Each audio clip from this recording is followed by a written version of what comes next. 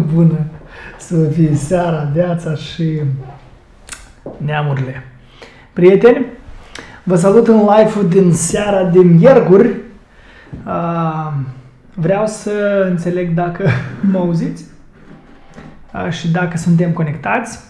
Încerc să scot la ecran și pe voi, să vă văd, să vă văd dacă vă văd, să vă văd dacă vă aud, să vă aud dacă vă simt. Așa, azi discutăm despre business manager. Toți cei care vor să promoveze, toți cei care promovează cu mai mult de 50 de dolari pe lună, toți cei care vor să facă bani din social media, sunt invitați să urmărească acest live. Dați-mi un plus dacă eu mă aud. Ceva parcă se aude, ceva parcă se vede.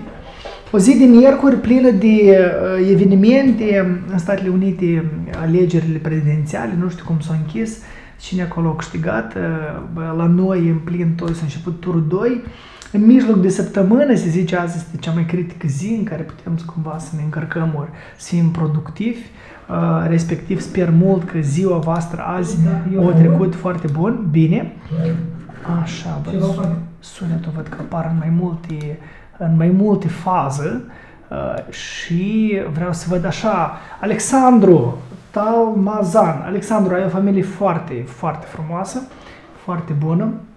Te felicit cu asta, uh, minim cu asta și mersi mult că ești aici. Cine încă mai este conectat și de unde sunteți conectați? Haideți să vedem cu cine azi avem uh, onoarea să discutăm și să petrecem câteva uh, ore, uh, ore, câteva minute, jumătate de oră și ne-am dus acasă. Pentru că azi noi discutăm despre uh, comunicarea prin business manager, deși el trebuie, cui el trebuie, uh, ce facem cu el uh, și uh, dacă în general trebuie să ne întrebăm business managerul este un must-have sau business managerul este o doleanță sau este doar pentru cei care vor să fac cursuri despre business manager. Azi nu avem uh, nicio vânzare, uh, relax uh, și primiți plăcere cei care vor să înțeleagă și direcție merge business managerul. Uh, nu uităm să facem un share în pagină, vă rog mult, ca să vadă prietenii voștri și voi mâine să puteți găsi această postare pentru ca să revedeți dacă se întâmplă ceva și nu reușiți să stați până la urmă. Salutare Valeria, Evelina, Evelina, Evelina, ce nume frumos, da? Evelin, Everlin. A, Evelina este o colegă de-a noastră care deja nu cu noi, e plecată la România, drept că mai este în Moldova. Evelina, succes! A, așa, a, vreau să, să înțeleg, da, mă auziți, bun, haideți să începem, haideți să începem de la început. Eu sunt în plină forță, chiar dacă e ora nouă, am finisat doar cursul, lecția 3 a cursului despre publicitate. Uh, și, ca de fiecare dată, miercuri, seara uh, îmi place să, să petrec seara vorbind încă, adică de la 6 la 9 am vorbit și încă vă jumătate de oră urmează. Azi tema noastră este Business Managerul, un instrument, o oportunitate pentru toți cei care fac publicitate în Facebook și Instagram. Ce este un business manager? Azi o să vă dau versiunea short ca să înțelegeți uh, ce cu dânsul și încotro el merge. Primul rând, haideți să vedem cum să verificați dacă voi aveți business manager sau voi nu aveți business manager. Când noi deschidem browserul, browserul nostru, uh, când îl deschidem, uh, ce vedem noi?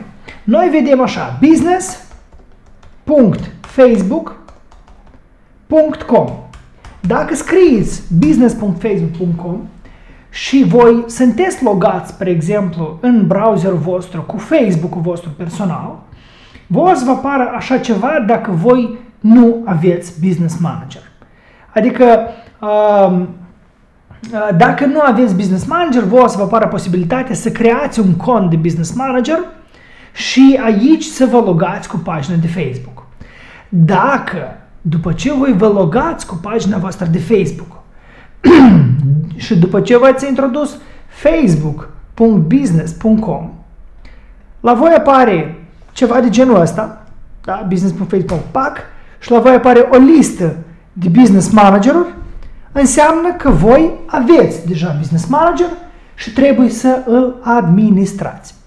Ce este un business manager? Deseori aud o eroare că business managerul este uh, un, uh, o posibilitate prin care noi putem seta publicitatea. Că business managerul este uh, un... Uh, uh, eu nu fac publicitate, uh, uh, nu am business manager. Sau eu fac publicitate din business manager. Business manager este un sistem de administrare a activelor Facebook prin care noi avem acces la alte instrumente decât instrumentele clasice și prin care noi putem securiza activitatea noastră în Facebook și Instagram mai bine.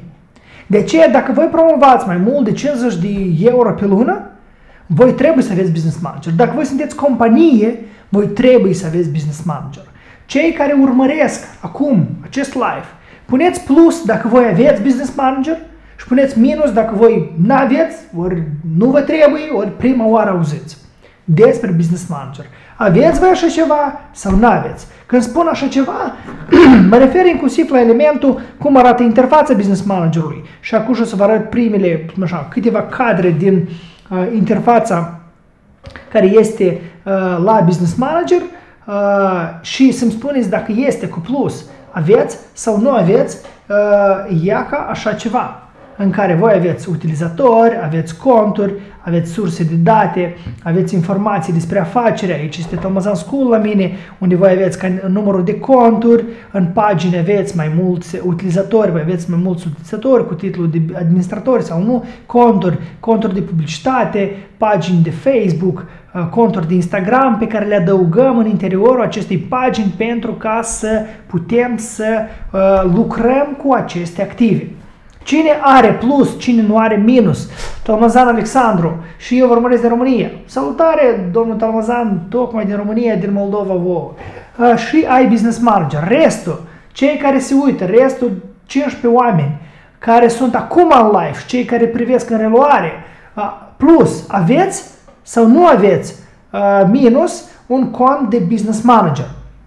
Ce putem noi face cu business manager? De ce este atât de vital să avem acest business manager? Uh, business manager ne permite să creăm mai multe conturi publicitate. Când asta poate să ne prindă ghine? De ce e că trebuie să avem mai multe conturi publicitare? Primul, cel mai mare minus este că dacă ești afacere și tu nu ai business manager, se primește că toată activitatea ta tu o setezi din contul tău personal de publicitate sau angajatul setează din contul lui personal de publicitate. Toate audiențele pleacă odată cu plecarea lui din companie.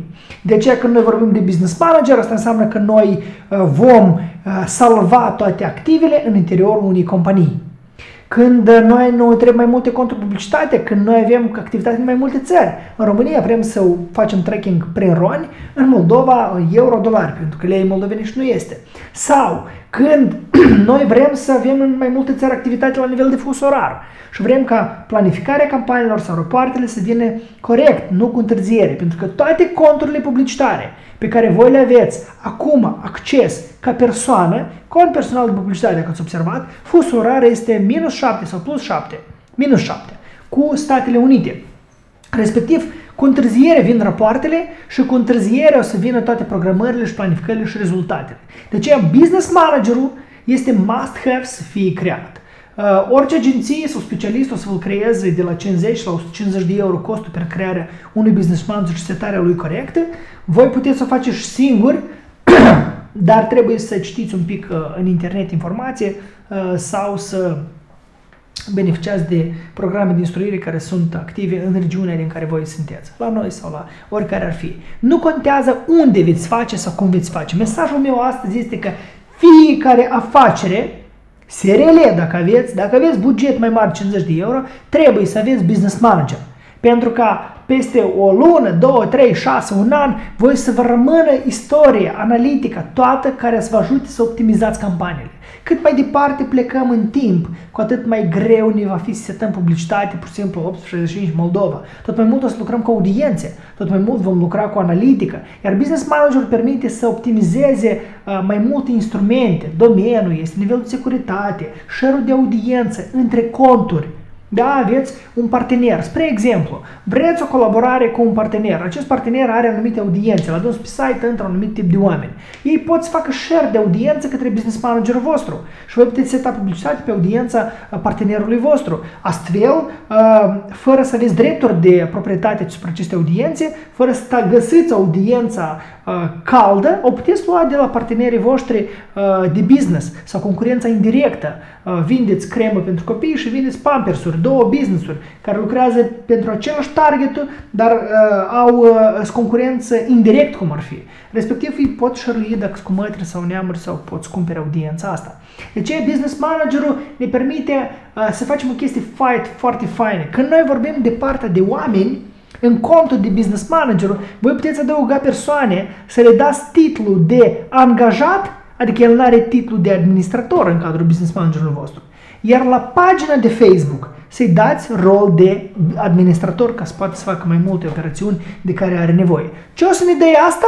O să ne dea un element foarte simplu. Când faci un om direct administrator în pagină, el are posibilitatea să vă șteargă și să devină el unicul administrator în pagină. Iar când îi faci acces prin business manager, el chiar are funcțiile unui administrator de pagină, dar la nivel de uh, drepturi, Uh, drepturile lui sunt limitate ca și un angajat simplu care are rol de editor sau de views și nu poate să vă șteargă ori să facă alte chestii din sensul ăsta. Oameni buni, dragi, spuneți-mi dacă temele astea scurte care eu le iau, mai am în câteva minute informații foarte importante să vă îmbolnăvesc ori să vă convin că sunteți pe calea dreaptă. Sunt relevante, că 11 persoane, 15 persoane, 12, 9, 13, Uh, se duc, vin, se duc, vin. Cei care priviți, am auziți fraza asta. De la 1 la 10, cât de relevant este subiectul de azi? Vă rog foarte mult. Pentru mine e mega vital să-mi dați de înțeles ce, uh, uh, ce gândiți, uh, cum, cum gândiți. Vă rog foarte mult. De la 1 la 10, pe cât de relevant este? Așa, o parte nu au, Svetlana nu are, Maxim Sârbu are, Maxim salutare, Sergiu salutare. Așa, ce, pe cât de relevant este așa de îngust subiectul pe care să-l abordezi sau totuși să merită să vorbim o leacă mai, știți cum, despre filosofia filosofiilor ce interacționează sub jurisdicția celor suprapuse, adică așa mai, mai general, cum s-ar spune, să vorbim. Cum vouă vă este mai, uh, uh, mai ok în direcția asta? Așa, Alexandru, pentru, pe, pe Alexandru l-a nemerit azi. Eu zic că familia Talmazan uh, um, are, are, are și spune azi. Uh, așa. Restul, restul, restul nu li comod să tapeze, da?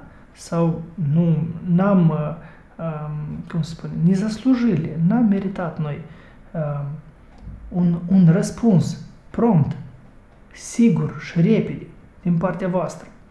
Svetlana, ok, Svetlana, tot relevant. Hai la doi oameni relevant, eu sunt gata să lucrez minim pentru doi oameni. Deci haideți să reiterăm.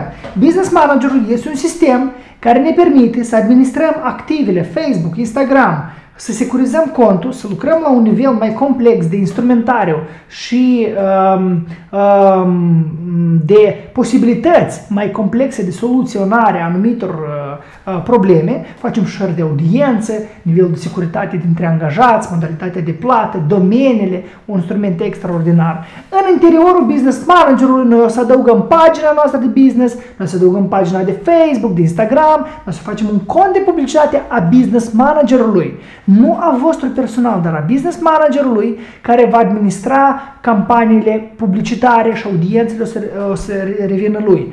Toate acestea noi le vom uni în unul și ne trebuie pentru ca să putem crea mai multe conturi pe mai multe țări, cu mai multă valută, cu mai multe fusuri orare sau mai multe conturi pentru că Facebook recomandă să promovăm un business dintr-un cont publicitar. Adică dacă facem construcție, construcție facem. Dacă avem două business-uri, construcție și traininguri de Facebook, ar fi bine în două conturi publicitare.